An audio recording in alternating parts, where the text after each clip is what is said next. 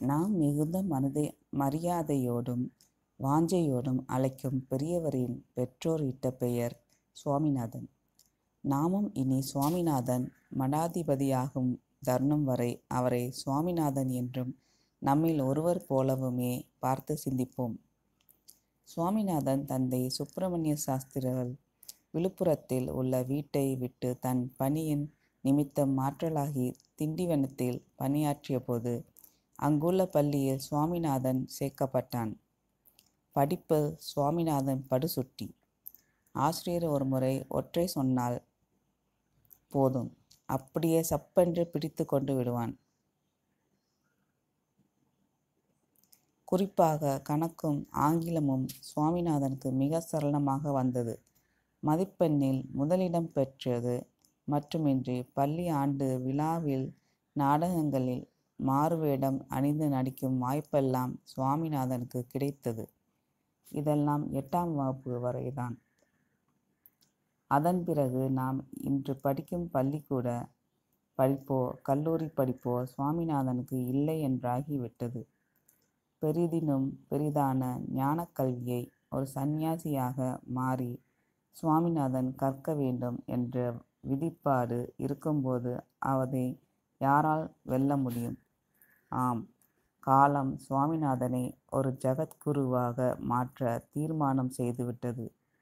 விதிவசத்தால் நடந்த அந்த சம்பவங்கள் மிக ரச ரசமானவை.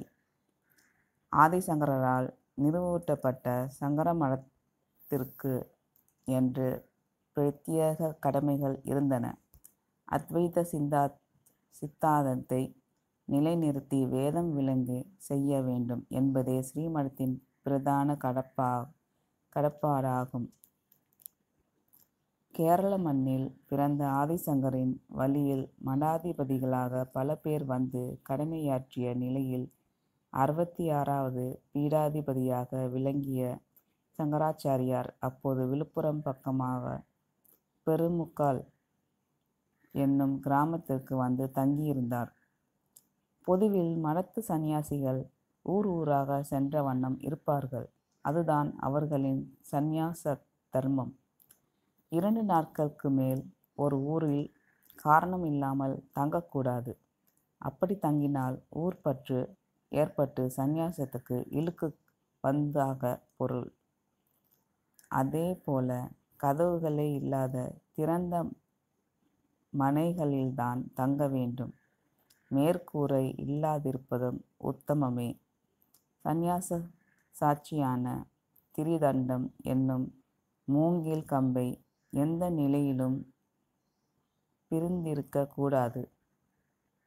அதில் கொடி போல கட்டப்பட்டிருப்பது அவர்களின் அணிய வேண்டிய கௌபீகம் ஆகும். ஒரு கௌபீகம் கோவணம் இடுப்பில் அணிந்த நிலையில் இருக்க ஒன்றை மாற்றாக வைத்து கொள்ளலாம். மற்றபடி இரவு ஓலைப்பாயில் படுக்கும் போதும் தனக்கு சமமாக அதையும் அருகிலேயே படுக்க வைத்து கொள்ள வேண்டும். இப்படி சந்நியாச விதிகள் நிறையவே உள்ளன. அந்த அடிப்படையில் பெருமுக்களுக்கு அப்போதைய அறுபத்தி ஆறாவது பீடாதிபதி வந்து தங்கியிருந்தார். இதுபோல் பீடாதிபதிகள் வருவதே மக்களை நல்வழிப்படுத்தி அருளாசி வழங்கத்தான். அவர்களை தரிசனம் செய்து ஆதி ஆசி பெற வேண்டியதும் நமது பிரதான கடமையாகும்.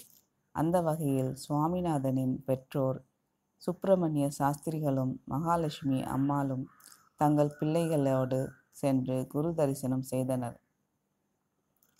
இங்கு குரு தரிசனம் சுவாமிநாதன் வாழ்வில் ஒரு பெரும் திருப்பத்தை ஏற்படுத்தப் போகிறது என்பது பெற்றோர்களுக்கு தெரியாது. அந்த முதல் குரு தரிசனத்திலேயே அந்த மடாதிபதியின் பார்வை தம் சுவாமிநாதன் மேல் மிக தீர்க்கமாக பதிந்து விட்டது. சுவாமிநாதனும் குருநாதரை மிக தீர்க்கமாக பார்த்தான். குரு வந்தனம் புரிந்துவிட்டு பின்னர் எல்லோரும் வீடு திரும்பினர். அதன்பின் அவர்களுக்கு அவரவர் வேலை. சுவாமிநாதனுக்கும் பள்ளிப்பாடங்கள் விட்டு வீட்டுப்பாடங்கள் என்ற பெயரில் காத்திருந்தன. ஆனால் மனது அதில் செல்ல மறுத்தது. குருநாதரை பார்த்த அந்த தருணங்களே மனதில் திரும்ப திரும்ப தோன்றியது. எவ்வளவு நேரம்தான் இப்படியே நினைப்போடு தவிர்க்க முடியும்? சுவாமிநாதன் புறப்பட்டு விட்டான். பெருமுக்கால் கிராமம் நோக்கி நடக்க ஆரம்பித்து ஒரே மூச்சில் வந்து சேர்ந்தான். வீட்டில் ஒருவரிடம் ஒரு வார்த்தை கூட சொல்லிக் கொள்ளவில்லை. சொல்லிக் கொள்ளவும் தோன்றவில்லை. குருநாதர் முன் போய் நின் நிற்கவும் அவரிடம் திகைப்பு. கிட்டத்தட்ட அவரும் சுவாமிநாதன் நினைப்பாகவே இருந்ததுதான் விந்தை.